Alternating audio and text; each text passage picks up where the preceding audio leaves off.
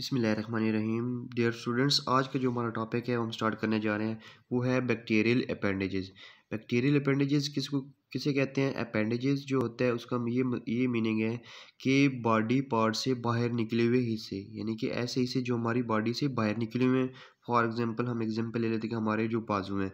अब जो बाजू हैं हमारे, वो हमारे बॉडी से बाहर निकले हुए हैं, इसलिए उनको कहते हैं कि वो अपेंडेजेस हैं।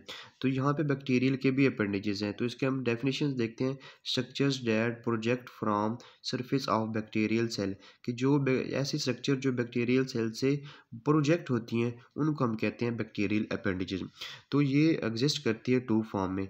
एक फार्म में है फ्लैजेला और दूसरी फार्म में है पिलाई।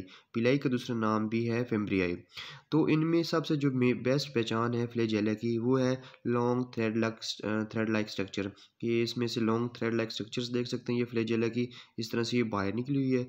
और उसके बाद पिलाई या फेम्ब्रियाई में देख सकते हैं कि इसकी ट्यूबुलर एक्सटेंशन होती है ऑफ़ प्लाज्मा मेम्ब्रेन से। ये आप देख सकते हैं कि ये इसके क्या, ये अंदर, ये बाहर सेल वाल है और अंदर क्या है प्लाज्मा मेम्ब्रेन है। तो इस प्लाज्मा मेम्ब्रेन से ये प्रोजेक्शन यानी कि ये स्ट्रक्चर जो है, ये बाहर निकली हुई है एक्सटेंशन हैं, ये बाहर निकली हुई हैं। तो उसके बाद है कि आप फ्लैजेला का फ्लैजेला देखते हैं किससे मिलकर बना होता है।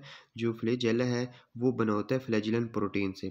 Flagella they are compose by flagellin protein से। तो सिंपल सी बात है कि जिस तरह से फ्लैजिलन नेम से शो रहा है तो ये फ्लैजिलन प्रोटीन से मिलकर बना हुआ है।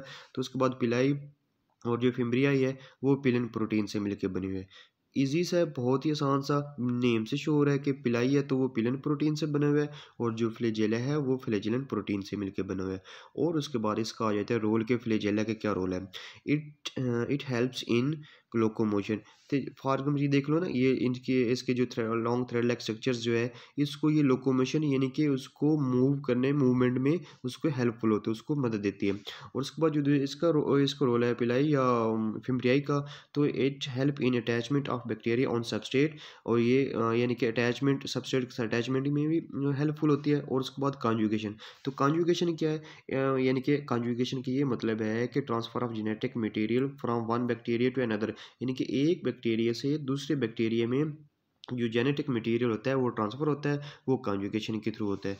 तो ये था हमारा आज का टॉपिक बैक्टीरियल अपेंडेजेस